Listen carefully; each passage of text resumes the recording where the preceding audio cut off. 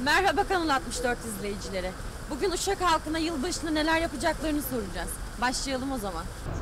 Ee, şu dönemlerde Milli Piyango'nun çekilişlerinde görmüş olduğunuz videolar var belki biliyorsunuz belki bilmiyorsunuz bilmiyorum ama ee, insanların umutlarıyla oynanmaması. İyi şeyler olsun. Zamlar dursun mesela en başta. Peki e, 2018 ile ilgili bize bir itirafta bulunabilir misiniz? Benim için 2018 çok güzeldi.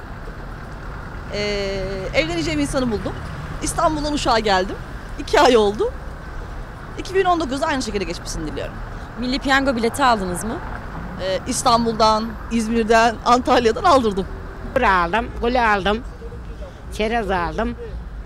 Evde mi geçirmeyi düşünüyorsunuz yılbaşı? geçiniyorum. Peki 2019'dan neler bekliyorsunuz? E, dokuzunda şey bekliyorum.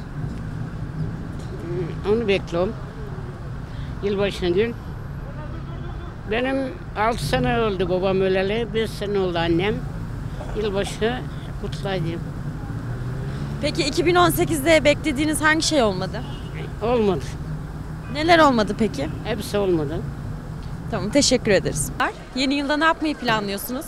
Merhabalar. Ee, yeni yılda e, şu anlık bir planım yok ama sınavlara çalışacağım muhtemelen. Burada okuyorum zaten. Öyle. Peki 2019'dan beklentileriniz neler? 2019'dan sağlık bekliyorum. Ee, ailemin yanına gitmeyi istiyorum. Şu şekilde. Peki 2018 sizin için nasıl bir yıl oldu?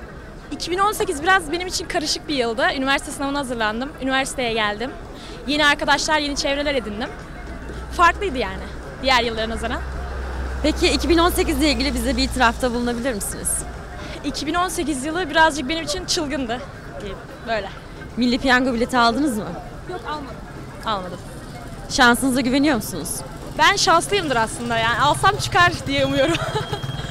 Teşekkür ederiz röportaj için. Burada ne yapmayı planlıyorsunuz?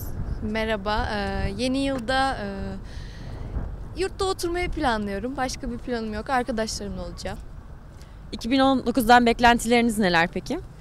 2019'dan herkesin temenni ettiği gibi sağlık bekliyorum, huzur bekliyorum. Ondan sonra başka başka da bir beklentim yok. Sadece huzur olsun yeterli diye düşünüyorum. Peki 2018'de yaptığınız en büyük çılgınlığı bizimle paylaşır mısınız?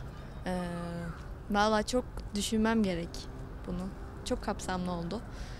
Ya şu an aklıma gelmiyor ama birçok şey yaptım.